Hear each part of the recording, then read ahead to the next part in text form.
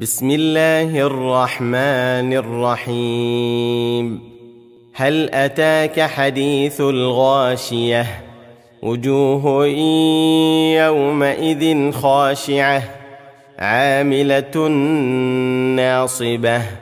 تصلى نارا حامية. تسقى من عين آنية. ليس لهم طعام إلا من ضريع. لا يسمن ولا يغني من جوع.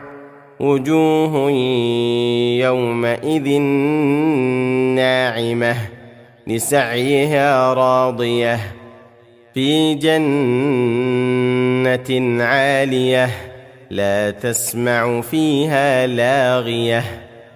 فيها عين جارية فيها سرر مرفوعة وأكواب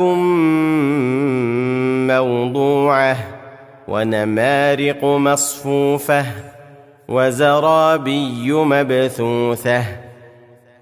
أفلا ينظرون إلى الإبل كيف خلقت؟ وإلى السماء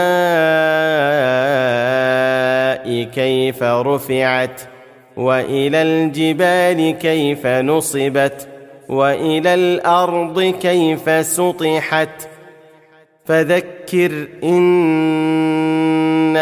أنت مذكر لست عليهم بمسيطر إلا من تولى وكفر فيعذبه الله العذاب الأكبر.